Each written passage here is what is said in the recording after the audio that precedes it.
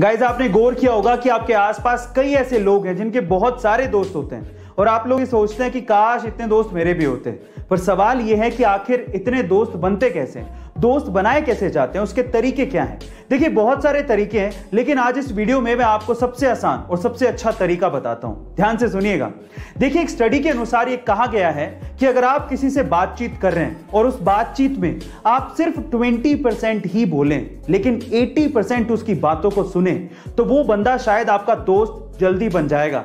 लेकिन उसकी बात को सुनने के लिए नहीं सुनना है, उसकी बात पे गौर भी करना है। ये बहुत इंपॉर्टेंट है। गाइज़ आपको ये ट्रिक कैसी लगी? कमेंट सेक्शन में ज़रूर लिखेगा। मगरमच्छ के जबड़े इतने मज़बूत होते हैं कि एक बार अगर कोई उन जबड़ों के बीच में फंस जाए तो मगरमच्छ उसे अपना शिकार बनाए बिना छोड़ता नहीं है। लेकिन इस दुनिया में एक ऐसा पक्षी है, जो कि मगरमच्छ के मुँह के अंदर चला जाता है। लेकिन इसके बावजूद भी मगरमच्छ उसे खाता नहीं है। उस पक्षी का नाम है इजिप्शियन फ्लोवर बर्ड। पर सवाल यह है कि ऐसा होता क्यों है? देखिए, ऐसा इसलिए होता है कि मगरमच्छ के दांतों में फंसे हुए खाने को वो इजिप्शियन फ्लोवर बर्ड अंदर जाके चुप चुप के खाता है, जिससे मगरमच्छ के दांत साफ़ हो जाते हैं। अब इससे मगरमच्छ को भी फ़ायदा है। और उस बर्ड को भी फ़ायदा है। और इसी वजह से मगरमच्छ उसको हार्म नहीं करता।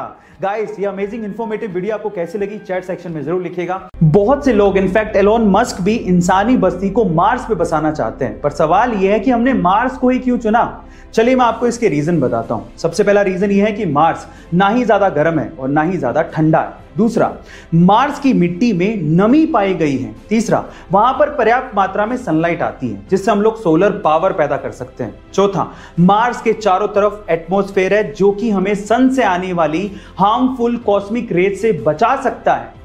पांचवा, मार्स में डे नाइट साइकिल अर्थ के जैसी है, यानी कि लगभग 24 घंटे में ही डे नाइट साइकिल पूरी हो जाती है। और छठा, जो कि सबसे इंपॉर्टेंट पॉइंट है, हमारे सोलर सिस्टम में अर्थ के अलावा मार्स ही अकेला ऐसा प्लेनेट है, जो कि हैबिटेबल जोन में आता है। गाइस क्या इसके पहले तक इंफॉर्मेशन आपको पता थी? और